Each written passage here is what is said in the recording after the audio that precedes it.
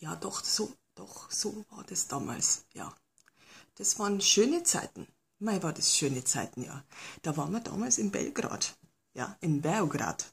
Ja, da waren wir jeden Abend, als wir es dann entdeckt gehabt haben, ungefähr an die letzten drei Tage, äh, da haben wir es dann, Skadalia haben wir dann haben wir entdeckt, weil da war es wirklich schön. Mei, war es da schön. Ja. Ja, dann haben sie immer vom, ach ja, ich hab dann immer gedacht, dieser komische Wein, dieser, da gibt's doch diesen Amselfelder, ne?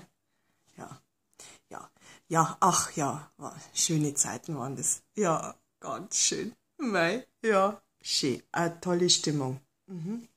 Also wir waren eine Gruppe, wir waren ein Japaner, äh, da wird's den Namen. Also ich sage jetzt, ähm, ich sag hm, den einen Namen. Der hat selbst ein Serbo, damals serbokroatisches äh, Wörterbuch hat er selbst äh, erstellt. Ja, weil da gab's nichts. Gar nichts anscheinend.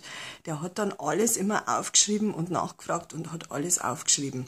Und dann haben wir einen dabei gehabt, der war damals, war sein äh, Sohn, hat er dann erzählt, frisch getrennt von seinem, also er war der Vater und der Sohn war von ihm getrennt. Der ist in den äh, Westen rüber, ja, rüber gemacht. Ja, und dann haben ja mir damals nicht gewusst, dass das kurz drauf das Ganze dann auflässt und dass dann das alles, verstehen Sie, das war unglaublich. Haben wir wirklich alles nicht geahnt damals. Wirklich nicht. Ja, das kam alles sehr plötzlich, gell. Ich denke halt, wissen Sie, ist immer mehr so was Monetäres, denke ich einmal. Meistens. Wissen Sie? Ja. Na, ich kann gern nur weiter erzählen. Aber jetzt nicht.